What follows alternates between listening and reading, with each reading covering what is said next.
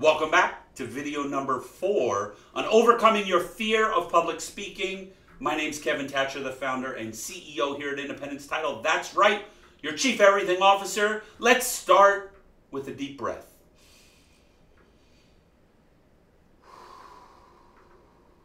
Getting ready for your presentation before you hit that record button or get on stage is super important. Probably more important than practicing understanding your material and visualizing what your presentation is going to look like. You need to get yourself in the mindset, get yourself relaxed in order to deliver an exceptional presentation. Because remember, anytime you are presenting to somebody, you are presenting for the benefit of educating them, empowering them, changing their life. I'll never forget there was an agent of mine that came up to me after a presentation and said I saved his life. I gave him so much energy and rebuilt himself up to get back into the real estate game. He was ready to kill himself.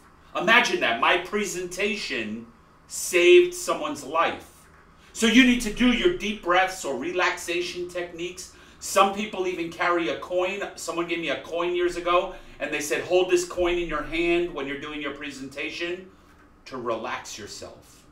The key in relaxing yourself, taking deep breaths, and practicing whatever type of meditation or whatever you use in order to get yourself into that zone, to know that you're getting up on stage to deliver an impactful presentation, is key number four.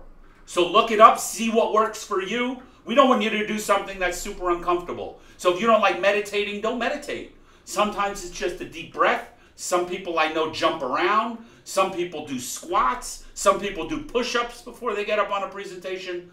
Whatever gets you into the mental mindset to change the lives of the people that are on the other side of that camera or on the other side of that presentation is your key to overcoming your fear of public speaking.